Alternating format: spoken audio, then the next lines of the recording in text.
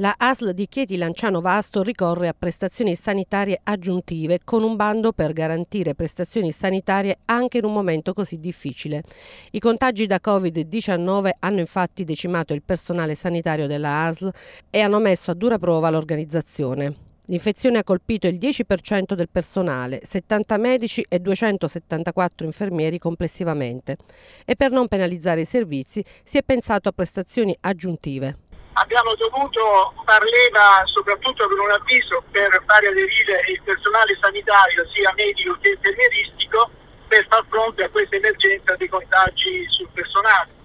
Quindi eh, noi ci aspettiamo, come è già successo in, in altre occasioni, un'adesione molto ampia del personale per poter permettere di andare a, diciamo, a sostituire eh, quello che le domande scadono il 22 di luglio, questa è una delle leve che abbiamo escogitato eh, come strategia aziendale, e altre leve le stiamo eh, diciamo così, studiando, quelle che potrebbe essere per esempio anche l'ottimizzazione del posti letto in base al tasso di occupazione delle unità operative, soprattutto in alcune discipline quando su luglio ed agosto vengono meno i. Le richieste ulteriori sono quelle che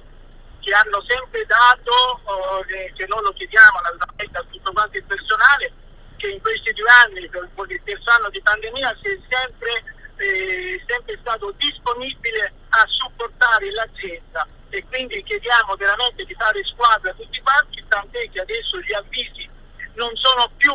le prestazioni aggiuntive unità operativa per unità operativa, ma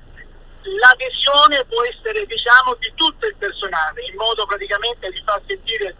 che tutti facciamo parte di una squadra, tutti facciamo parte di questa azienda e non possiamo assolutamente permettere di avere servizi essenziali carenti soprattutto in questa fase.